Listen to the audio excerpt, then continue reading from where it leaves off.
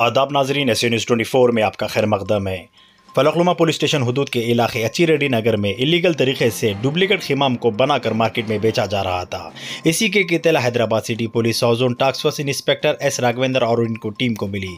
उन्होंने अपनी टीम को तश्कील में लाते हुए, जाल बिछाते हुए वहाँ पे कारखाने पे छापा मारा और उनके कब्ज़े से 10 लाख रुपए मालती रकम का जरदा और एशिया को जब्त किया और एक जने को हिरासत में लिया जिसका नाम खलील बताया जा रहा है, और दो जने अपस्कांडिंग बताया जा रहा है।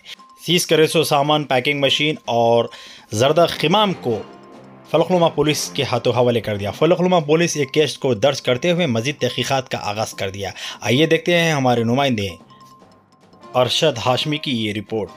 आइए देखते हैं आगे की ये तफसीत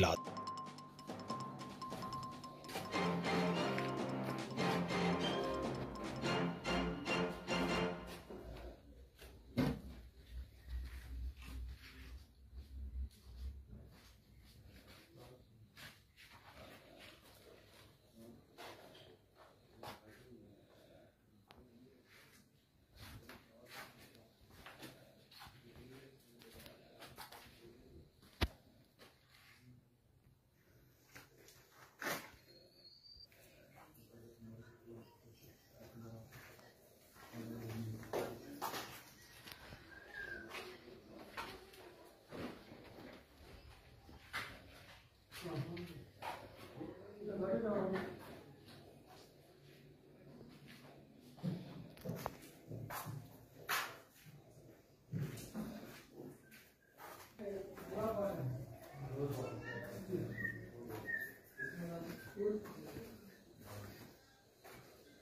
Water before?